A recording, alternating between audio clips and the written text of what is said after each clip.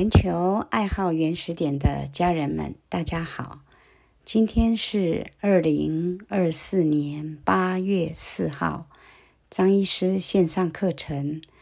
我们今天的主题是实作分享，内容有皮肤病、乳癌、中风。好，那我们现在就开始。好，我们现在先分享皮肤病的案例。我们先一个一个先放一下。好，我们现在放一个河南做的这个案例很精彩，是皮肤病，然后用激素擦了以后，整个过敏溃烂的。刚开始的时候呢。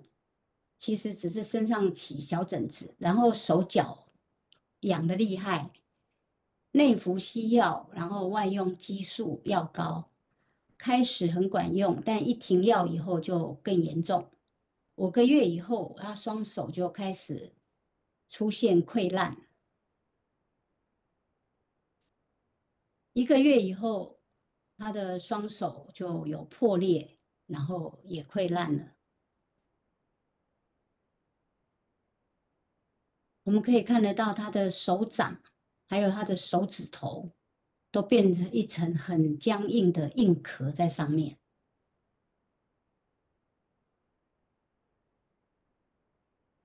那么这个时候，他们才开始用原始点来调理。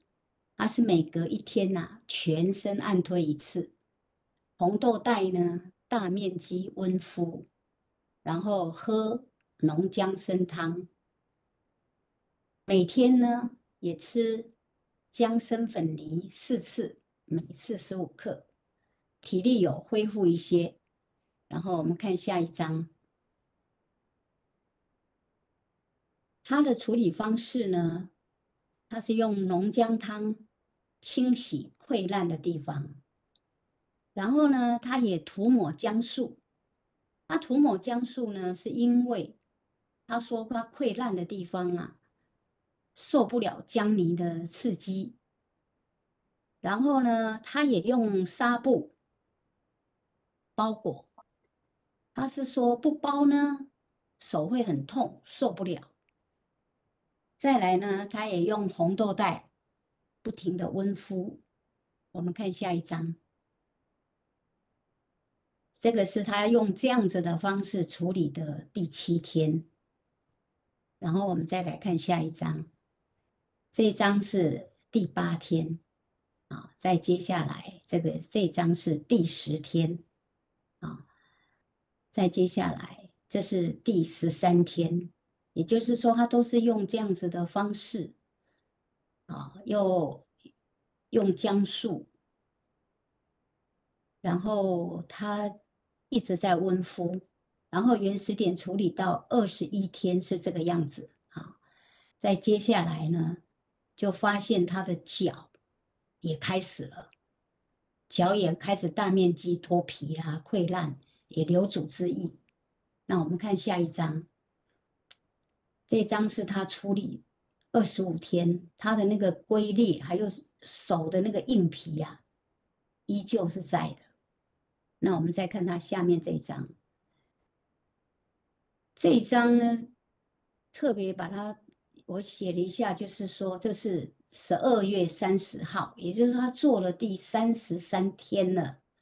这这一天呢，这个照片是他在香港学习之前，就是说他还没有到香港去学姜粉泥按推之前，他做了这么久，大概就是这样的一个情况。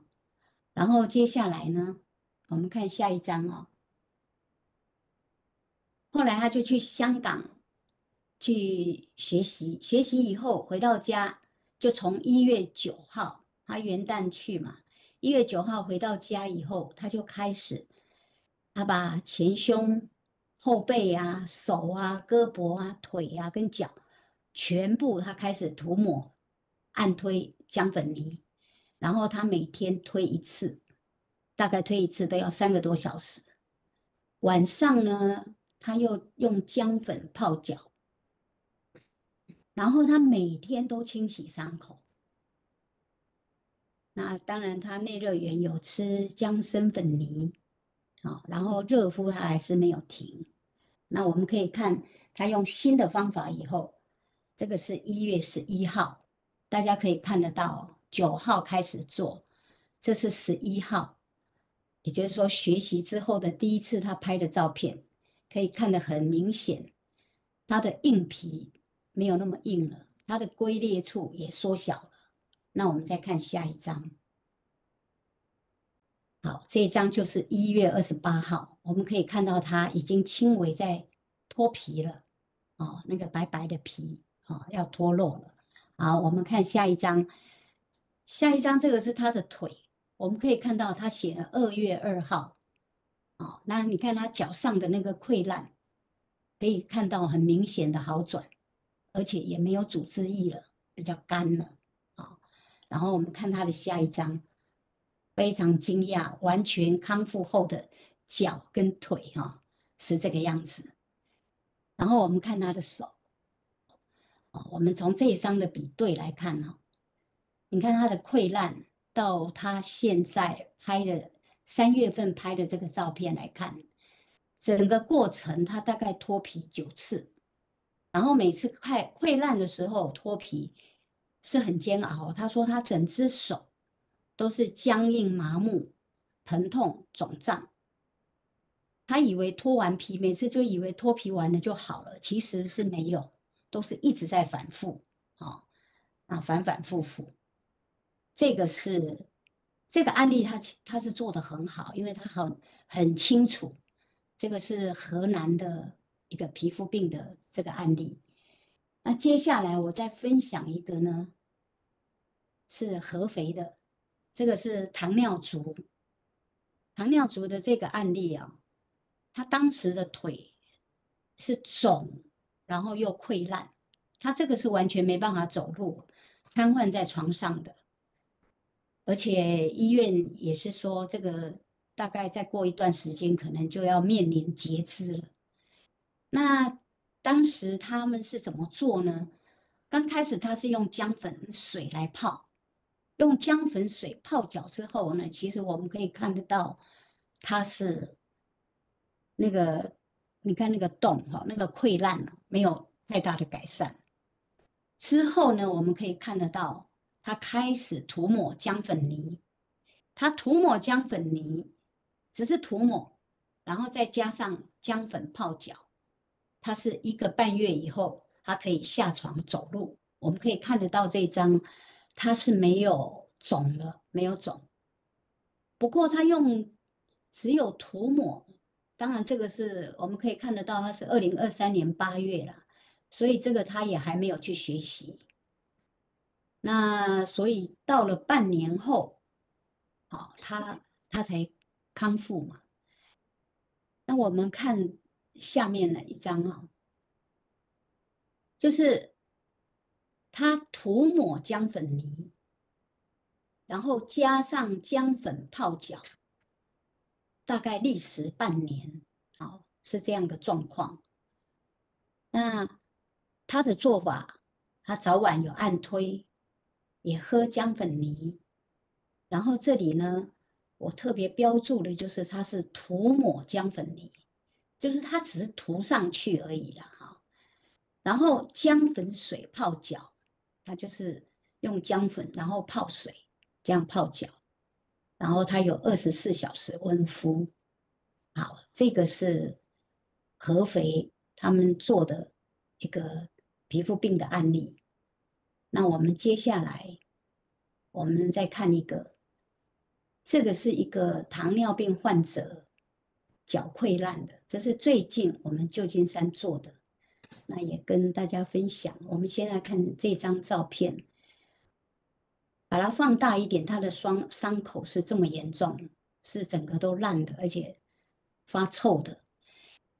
这个他是医生说，在过一阵子都是要把它截肢的啊。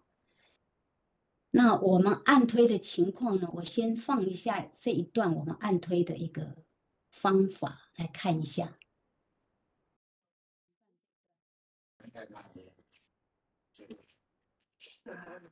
啊，有啊，喺邊嗰度要咁樣，啊有痛啊，有痛啊，可以接受啊。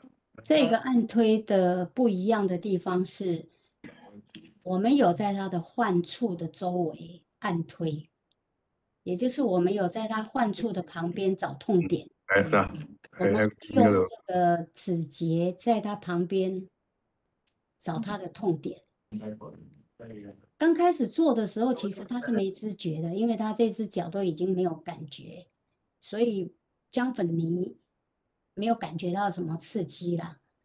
可是之后他有知觉了，那他有知觉以后，我们用姜粉泥帮他按推，他是有刺激有痛，可是他说刺激完他是很舒服的，所以我们发现这样的溃烂的人，也一定要在他的溃烂的患处的周围要帮他按推。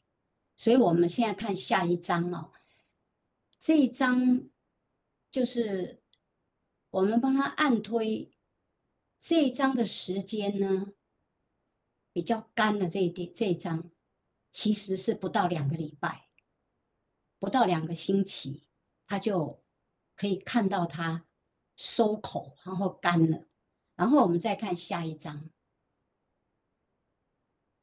这一章不同的地方在于，第一个，我们用姜粉泥按推之后，我们没有泡水，也没有去，哎，用什么姜粉或者敷或者什么都没有，我们保持的是干燥，就是很干燥。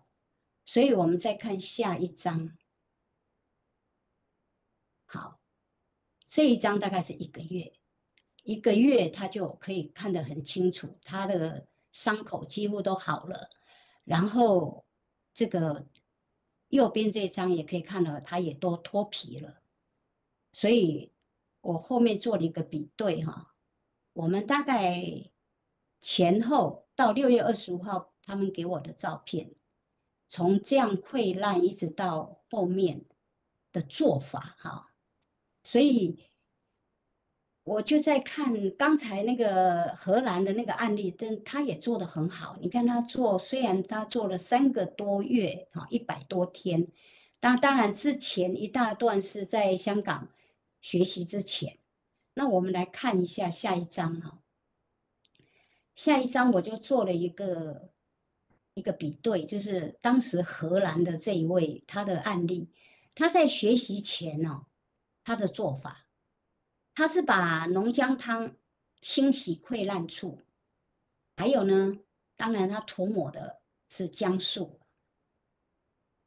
然后他又用纱布包裹，啊，那这个是学习前的做法，但是他学习之后呢，他有修正他的做法。他修正是什么呢？他是涂抹、按推姜粉泥，然后呢，当然他晚上还是有用姜粉泡脚啊。再来呢，他还是一样每天有一直在帮他清洗伤口啊，其他的他没有变。所以我写这样子也是顺便想请教老师，就是这几个这样子。的皮肤病的做法，也请老师，哎，指正一下。啊，其实露娜在讲讲比对的时候，已经都把答案也都说出来了。事实上，呃，第一个哈，溃烂处要不要泡？哦，泡脚这一方面哈。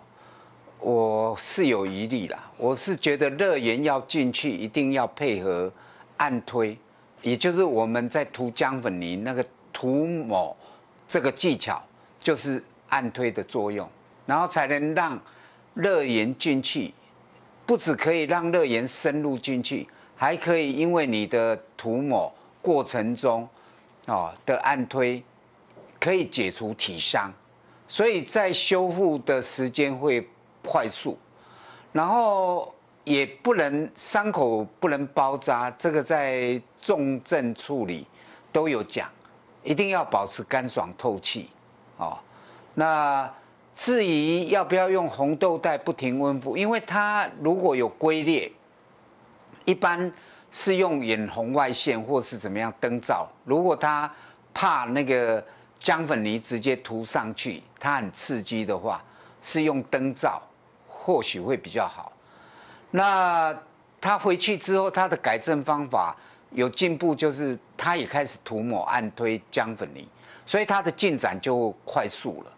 那至于要不要晚上在姜粉泡脚，我认为应该如果前胸后背手脚都可以按推，那脚要好的快，我认为也应该要配合涂抹跟按推，然后按到深层，哦，那这个热源进去修复就会加速，就不一定要泡脚了。那另外清洗伤口，我认为倒不必要，哦，就是一。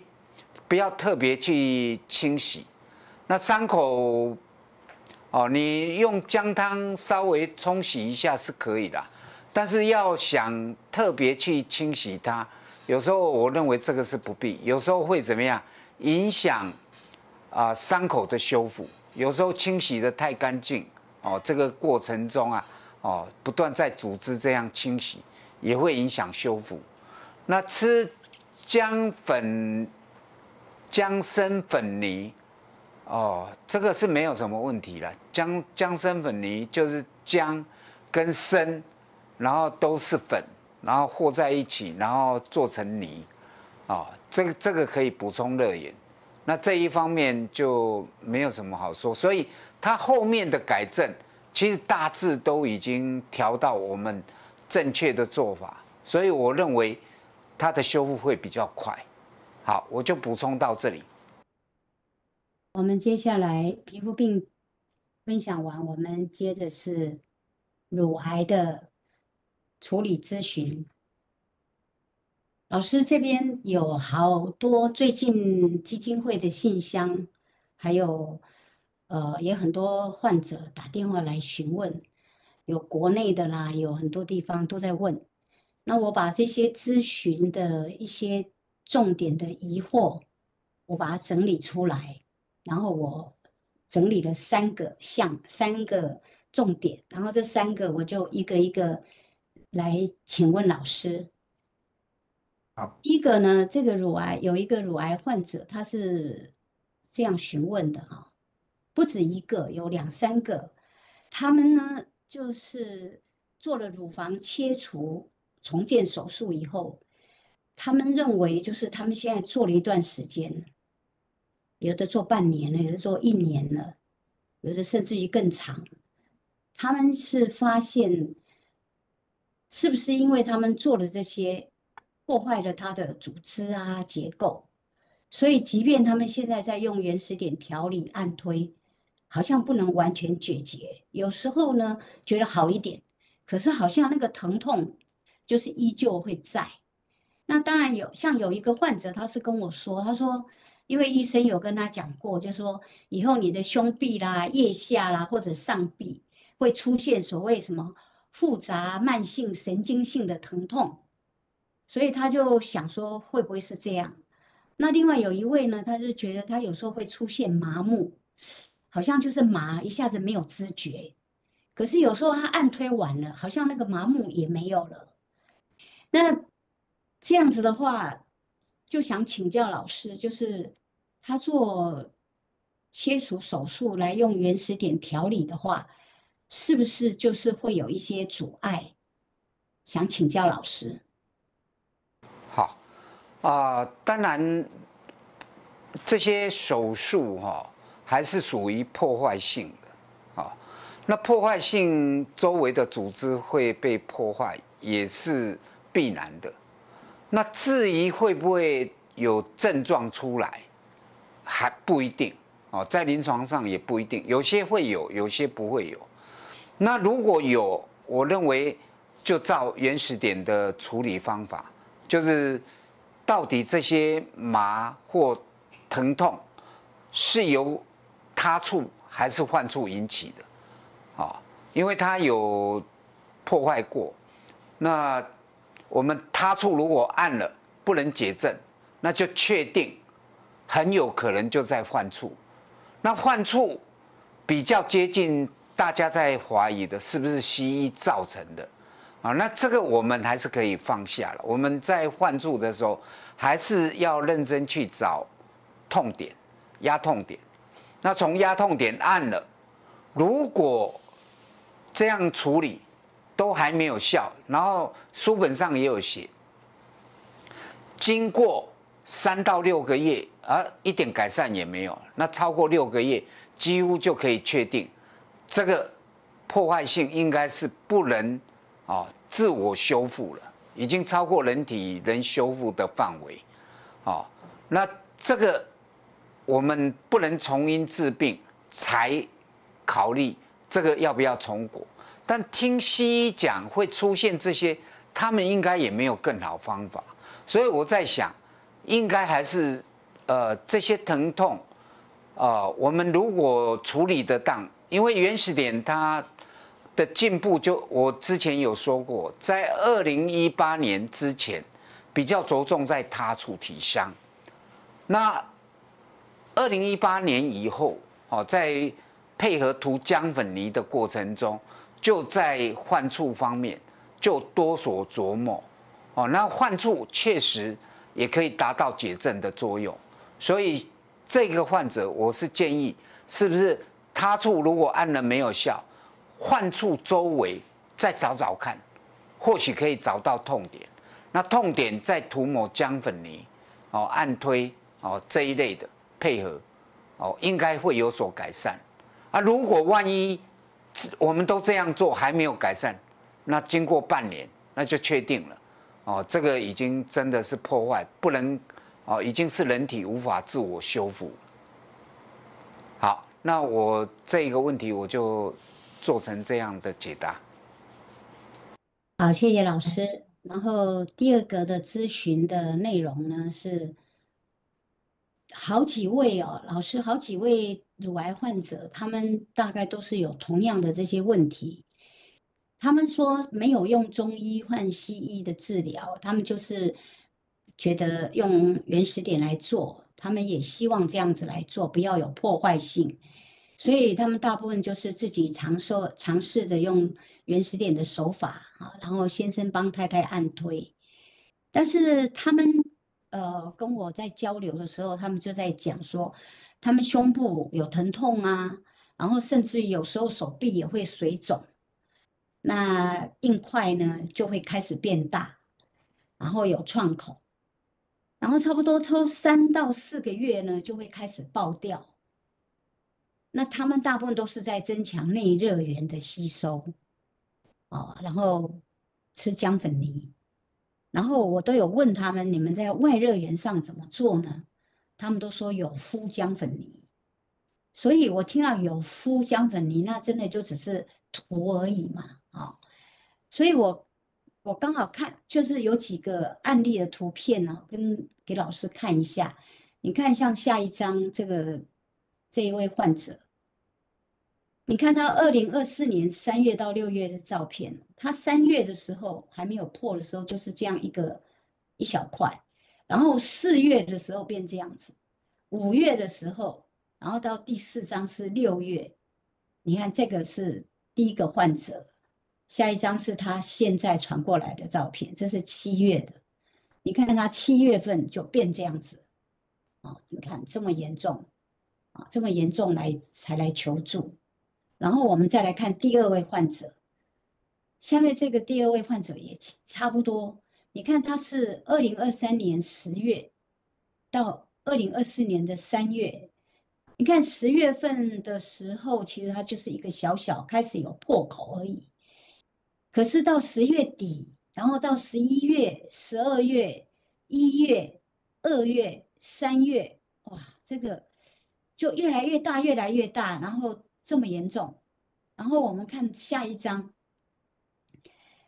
这个是今年的四月到七月的照片。老师看，你看他四月份的时候，这个溃烂，然后都已经成这个样子，然后这是五月份，然后六月二十六号，他大概就是在六月二十六号左右才才询问我的，所以那个时候我就告诉他要看老师的影片，然后怎么操作，然后开始有涂姜泥。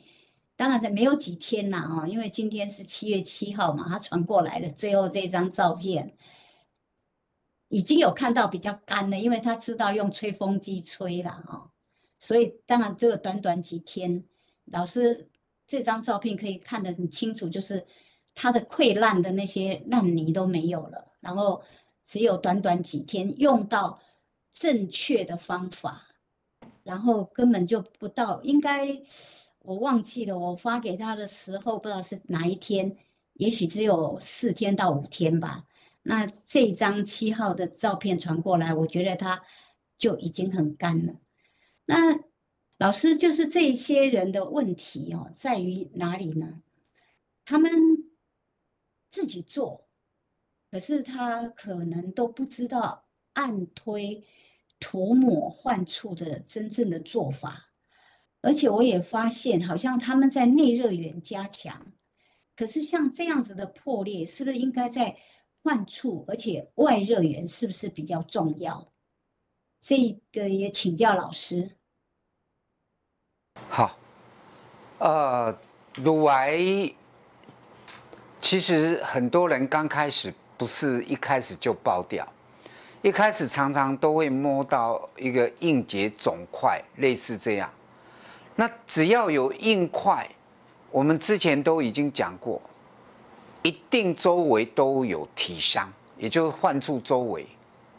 哦，那你只要把体伤按推开来，那个刚开始有些硬结肿块，前一两天如果你按的太大力，有时候它会肿胀疼痛，但你继续这样每天按每天按。哎，它就开始变软了。它变软之后，它就开始缩小，啊，慢慢就消失了。所以最好最佳的治疗时机，其实就是刚开始摸到有硬结肿块。那几乎像这样的患者，几乎都可以哦，借助这样按推手法来解决。哦，因为他那时候也没有破掉，如果体力还好，热源。是辅助而已，所以重点在按推的技巧。但从照片也可以看得出来，他们比较重视热源，但忽略了刚开始更重要的按推。然后等到热源这样温敷，慢慢哦也没有效了，然后再让它慢慢爆掉的时候，哦这时候就。比较难处理了，爆掉之后，因为就要考虑。我常常讲，乳癌如果大面积爆掉的时候，就已经算是重症了。那重症是应该以热源为主，按推为辅，还是要按推哦？不是说按推不重要。那时候因为爆掉，怕有时候流组织液、血液呀，患者会很疲倦，那长期下来体力就会衰退。哦，那原始点有讲。热能不足、体力衰退，就是属险象一线了，就要注意哦，会不会威胁到生命？所以这时候处理方法就要鼓励患者一定要哦姜粉泥喝姜粉泥哦，然后你周围涂姜粉泥也可以，但更重要是因为它爆掉，那个涂抹只能涂抹在爆掉的周围，那你患处怎么办？一定要电热吹风机。这是唯一的方法哦，你不用哦，什么灯罩啦，什么都没有，电热吹风机直接吹进伤口那个深处来的有效。那这样它的组里面的组织液或血液比较容易干掉哦，那热源也比较容易容易渗透到深层，对于周围的循环啊会变好，那也有助于修复体香。那但是体香还是要按啦。也就是在烂掉的周围，一定有痛点。那所以简单讲，有硬结肿块，哦，你或是像这样爆掉、撞或异常形态，它必属患处体伤。不可能他处引起的。但如果他胸部有疼痛，哎，这个疼痛是病症，症哦，不是状，那症有可能是他处引起，所以我们还是要按大开关，啊，按开关来让周围循环变好而已。但真正要解决异常形态，还有乳癌的状，一定要重视手法，也就是在根部周围把痛点找出来。那最好最佳的时机，我还是强调。就是没有爆掉，那时候还是属轻症，赶快哦看我们的影片，然后找周围的痛点，那找出来之后，每天这样自己按，只要按到那那些痛点，它痛慢慢不痛了，然后慢慢消失了，我相信那些硬结肿块就会消失。但你看硬结肿块如果没有消失，那你一定有痛点没有按开，甚至它越来越大。那就不对了，所以要有警觉性，自己别以为啊，我也有案啊，为什么越来越严重？哦，这时候一定要去找合格的志工，哦，看哪个地方哦有原始点的合合格推广点，去请教他们，然后修正自己的手法，哦，这样才能尽快的让患者修复，不要拖延病情，要不然等到爆掉的时候再处理上。哦，这个要花很多精力跟啊，然后又让患者承受了很大的心理压力。何况这个都已经到重症，从轻症到重症，甚至都有生命危险了。哦，这个都要小心。那这些就是要注意的哈。我还是提醒一下，患处保持干爽透气，好，尽量。不要用姜汤去伤口里面，像爆掉里面去清洗，这样会影响组织的修复啊。所以用电热吹风机吹干就可以了，啊，那干爽透气，然后周围痛点再按推，把这些痛点解开。那我相信，哦，一边涂姜粉泥啊，在周围涂姜粉泥，那一边配合涂抹的按推方式，啊，那这些痛点都可以解决。那这样才能彻底解决这个乳癌的问题。好，我就回答到这里。好，谢谢老师。那我们接下来还有第三个询问，这个是呃乳癌患者他化疗的询问。这个有好多个人同时在最近都问这个问题，因为。他们很多人都是医生建议他们的治疗方案，大部分都是叫他们先去化疗，然后手术，手术之后还要再化疗等等，都是这样。那他们现在当然有看老师的视频，然后也有一些推广点都会给他们建议。那他们就询问说，如果他们大量的服用姜粉泥，然后他们把内服做到极致。是不是这样子，他们就可以去化疗？然后有一些他就说他不敢涂抹按推，因为他觉得他越涂越大，他就很害怕。那是不是他如果去化疗呢，会小一点？所以他们就问说，如果我加强热源，那是不是我就可以去做化疗？就是类似这样子的一个提问跟咨询，请老师答疑。好，我们先就原始点的角度来分析。我刚刚已经向上面那个患者，我已经讲了，刚开始有硬结肿块，重手法，好，一定要找出痛点来按推。那如果爆掉的时候，哦，是不是哦要去寻求化疗？再手术类似这样，甚至哦，就是我重视我的内热源姜粉泥，然后做到极致，然后再来去化疗。好，这些问题哈，我我的看法是这样。我们先就西医的问题来讲，化疗也是属破坏性的，好，它全面照哦，所以周围的组织也会被破坏。那破坏了，有些会纤维化，对于啊患者以后在恢复的过程中，还是会拖蛮久的，而且还有副作用。然后手术也是一样。那问题手术跟化疗能不能解决体伤、患处体伤？我迟疑啦，我到目前迟疑。如果可以解除体伤，因为我们说嘛，有因才有果嘛。如果患处痛点，它都已经哦，这些体伤都已经可以借助化疗跟手术而好的话，那它就不应该再复发，哦，因为体香已经好了嘛，哦，所以有体香有因才才会有果嘛。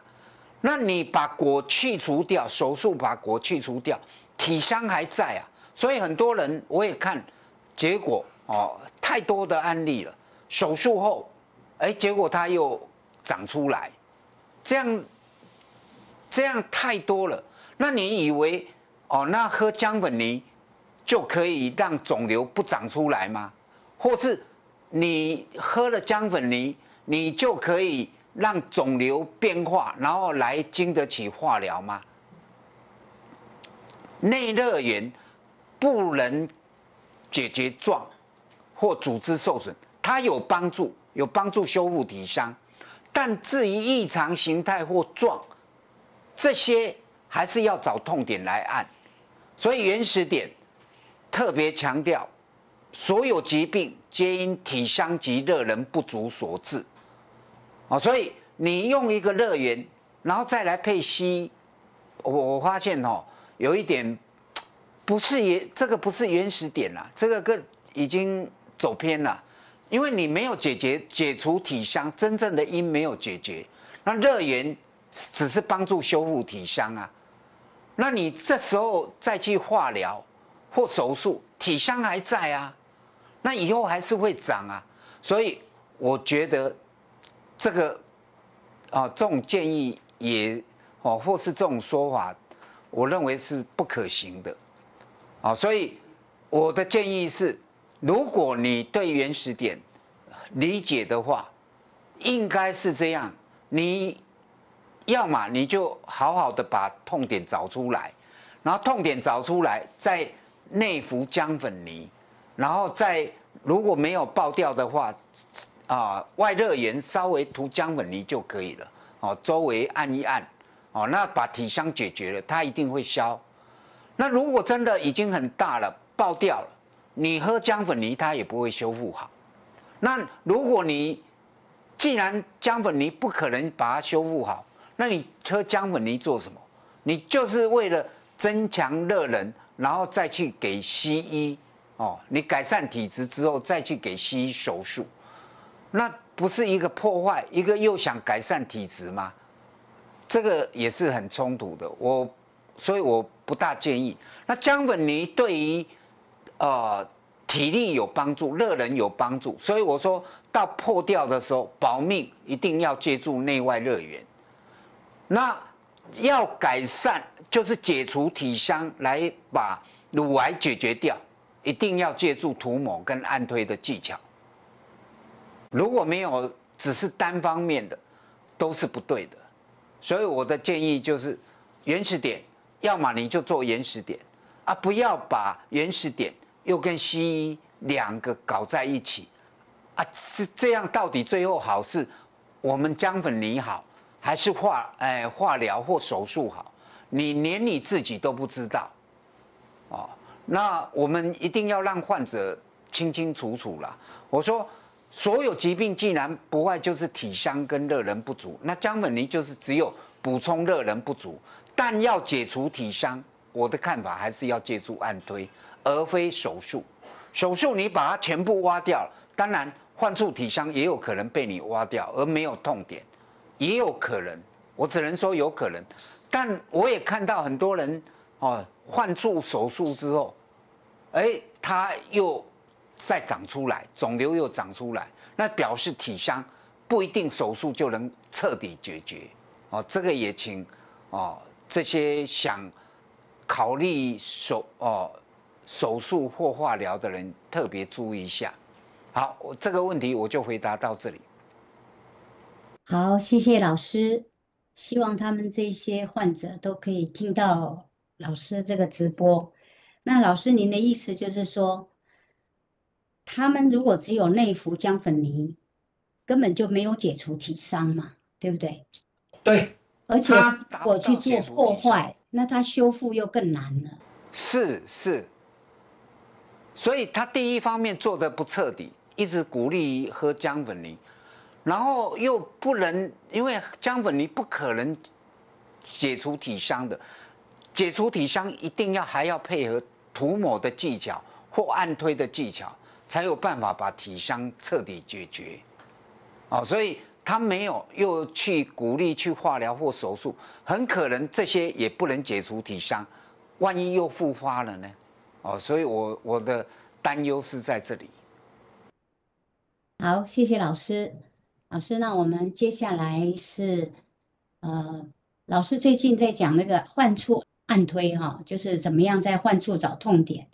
那老师，我分享一下那个陈经理中风的那个影片哈，因为当时我也在找患处，我先放一段这个影片，放完我再来跟老师报告那个找患处的情况。那我们先看一下以前的这段影片。美国旧金山志工程经理中风康复过程。自从2009年接触到原始点以后，有感于离相治病的超然立场，深信所有疾病的产生皆因体伤及热能不足所导致，所以。努力研读原始点医学的理论以及按推手法的技巧，希望能达成张医师公益无私的精神，让有缘人能将健康的自主权牢牢掌握在自己的手上。二零二零年十一月十九号上午，和往常一样。和露娜去公园运动散步，那天心血来潮，拿了一根新拐杖。走着走着，感觉拐杖拿不稳，会打到右脚的小腿，有时腿也会踢到拐杖。当时觉得有点异常。回到家后，拿着水壶准备烧水，不经意的轻轻碰了一下桌角。发现玻璃壶却破了，拿了一个鸡蛋放在桌面上，看到鸡蛋在滑滚，甚至掉在地上破碎，但没有办法适时的伸手去握住鸡蛋。突然感觉右手右脚不听使唤了。这些现象，让我当下就惊觉的告诉露娜。我中风了。露娜立刻帮我按推，先加强头部原始点，然后也做了全身按推。当时脸部有歪斜，讲话也口齿不清，右手右脚瘫软无力，前三天都卧床，连抬手的简单动作都很吃力。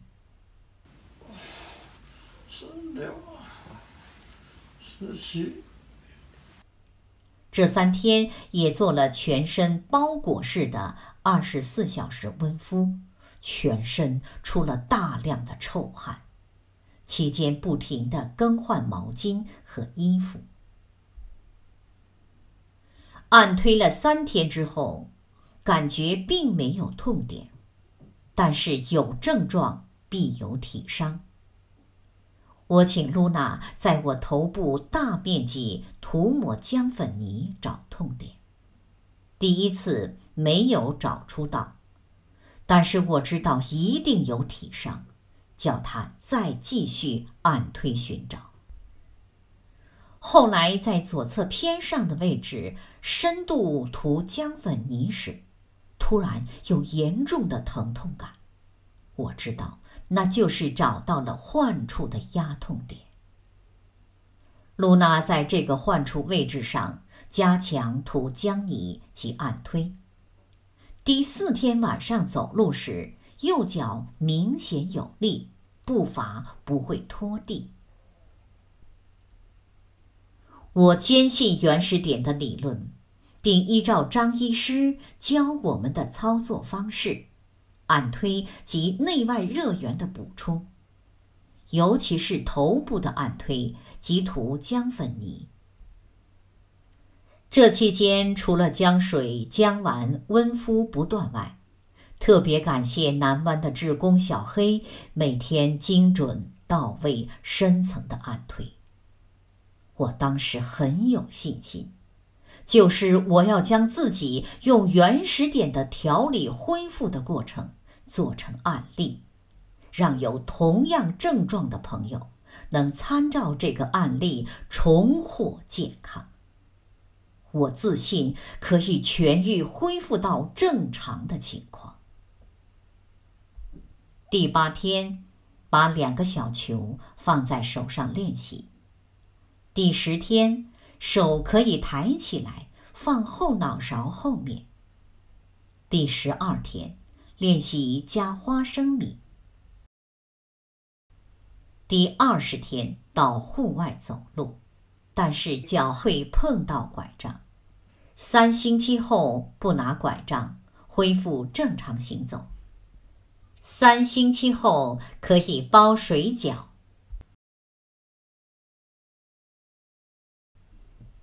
过去几年来，参照原始点医学理论及按推方法，我们有太多让患者成功恢复健康的经验，所以我自己有绝对的信心。我曾经在初发病的时候，就信心满满的告诉露娜：“我一个月之后就会好起来。”一个月后。我的手脚运作自如，可以开车，可以揉面团。所以康复后，我坚持每天步行一万步，也爬楼锻炼。这是恢复以后和张医师合影。恢复后第一次参加基金会尾牙聚餐。一般人中风以后。生怕自己手脚不听使唤，就专注在复健的过程。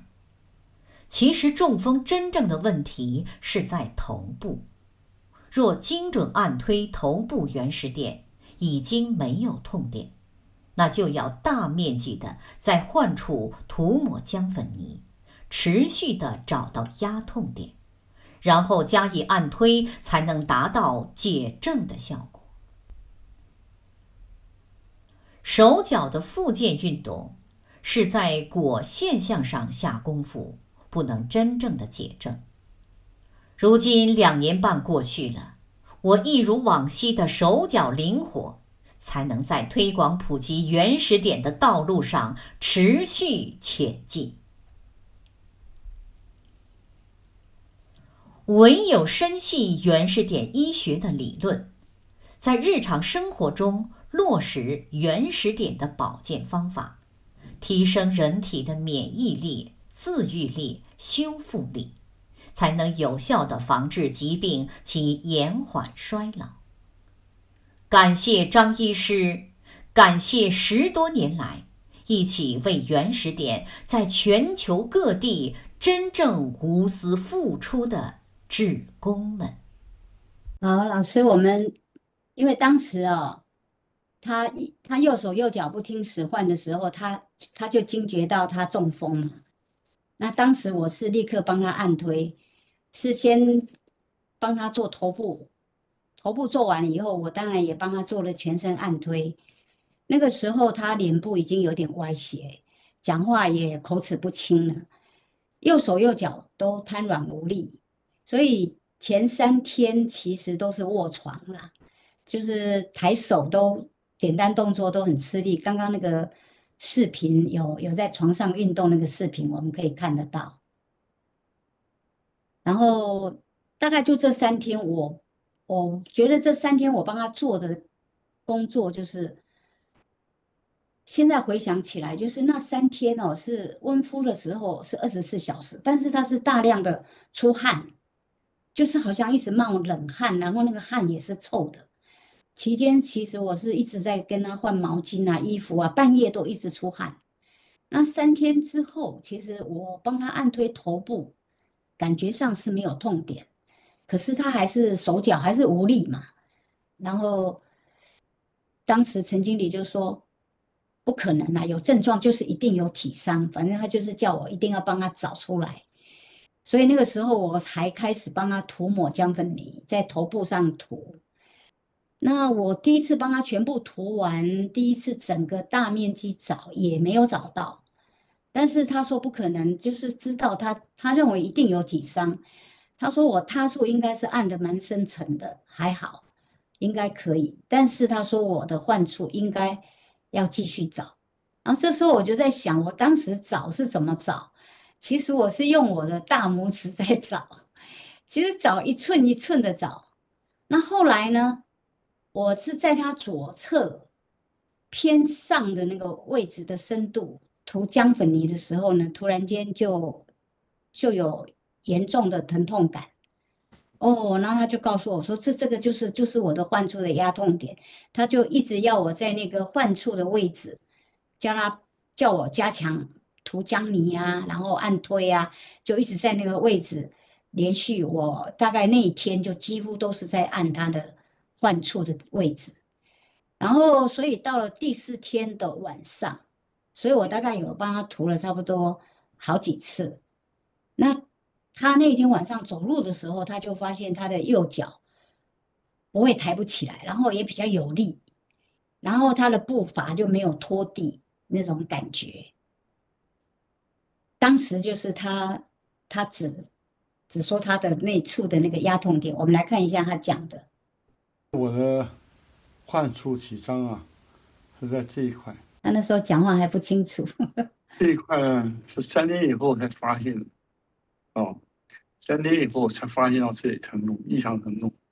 那么经过露娜这患处按推、涂姜粉泥按推以后，差不多四天的时间，这里全部都消除了，也没有没有痛点的啊，没有痛点。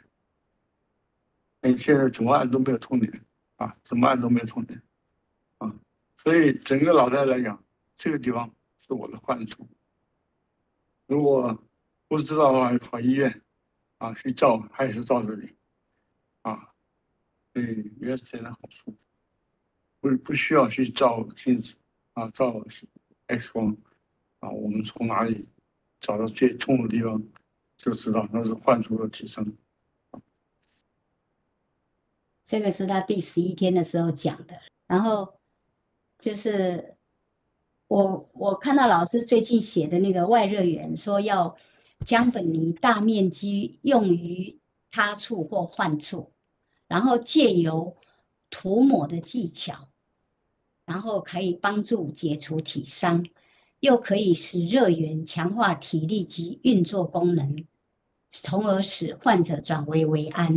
所以这里我觉得就是一个涂抹的技巧是很重要，然后要找到那个患处提伤，所以大面积要用于他处患处，患处也特别的重要。那老师您看，就是我当时在找那个患处的时候，可能我的技巧不对，所以我涂抹的方式。都是在用我的大拇指的指腹在推在涂，所以涂的其实蛮辛苦的。那现在老师讲的这个技巧，我我是觉得可能就是我们要学这个技巧，所以说也许老师可以跟我们讲解一下或者示范这个技巧。好，那我就分享到这里，请老师点评。哦，这个案例非常精彩哈。从中风到短短一个月就可以开车，然后恢复的情况也，哦，大家也看到了，哦，所以他重点那个患处哈，刚刚有在讲那个用指腹那个力道进不去了，所以呃一般很难，比较难找出体香的位置。什么是体香位置呢？就是压痛点。患者不感觉痛，但你压到那个点特别痛，所以我们一定还是要借助工具。最近教各位的在脸部跟头部的涂抹技巧，就是借助我们的腕骨，也就是这里，然后要用这个骨头，不要用整块肉，这个鱼际的肉哈去推，那个是找不到痛点，一定要有骨骨头啊，这样放下去，轻轻放下去，然后就能顶到深层。那顶到深层，你稍微按一按涂抹，随着姜粉泥这样涂抹，有体香的位置，患者都会告诉你，很容易找出来，然后速度又快，整个头部找痛点应该很快哦，只要手法正确哦，那涂抹一下，应该三五分钟内，整个头部应该都找出来，哪里有痛点都可以特别加强了。哦，所以真的涂抹技巧。非常重要，然后涂抹技巧又着重在患处，因为他处我们有我们之前教的工具嘛，哦，比如说耳后你就用前头发，那如果是整骨你就用手肘，那至于哦找头部的，就是用腕骨，那腕骨一般是用在患处，包括脸部哦也可以找找看哦，还有。哦，太阳穴啦，它或后脑勺啊，这些都可以找，甚至有些人痛点哦，也不一定在这里，而是在头顶上，也有可能。那反正这样就让大家了解，会中风一定有体香，但体香未必是他处，甚至更有可能是患处都有可能。所以你在处理的时候，千万不要忽略了患处体香，然后一定要。借助涂抹姜粉泥，用涂抹的技巧，哦，既可以把体香解除，然后又可以让热炎深深入到体内，哦，来强化运作功能。好，那这个我我觉得案例蛮精彩的。如如果能够大家这样看一下哈，以后大家就知道，在学涂抹姜粉泥，那个涂抹技巧一定要。哦，看影片。如果不看影片，自己有时候自己按，有时候力道进不去，效果会差很多。好，我就讲到这里。我们今天的直播就到这里。我们预告一下下个礼拜直播的内容，是大家非常期待的张医师二零二四年最新的版本。老师要讲原始点医学，欢迎准时收看，我们下礼拜见。